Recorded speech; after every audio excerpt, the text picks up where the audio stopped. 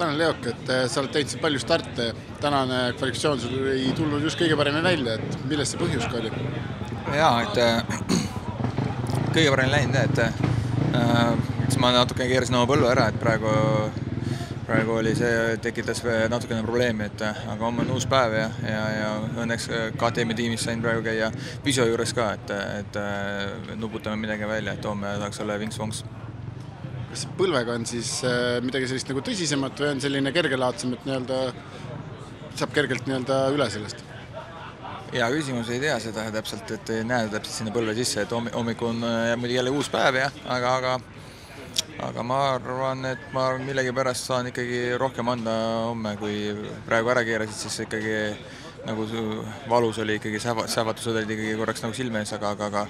ma arvan, et ma saan homme paremini hakkama, noh, muidugi eks hommikul selgub, võib-olla hommikul teeme uue inteka, siis saan paremini öelda.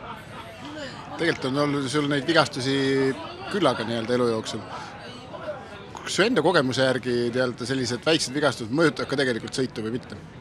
Äh, mõjutavad küll, et äh, noh, põlv on niisugune natukene keeruline, kui oleks mingi liivarada, kindlasti kõvasti parem. Aga, aga, aga kõva raja peal see keerulisem natukene, et see,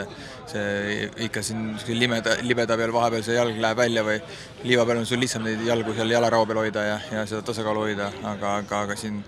niisugused tagasipöördekurvid ja asjad, siis natukene on vaja ikkagi seda nagu jalga välja saada või toppida, et, et aga, aga aga, aga isegi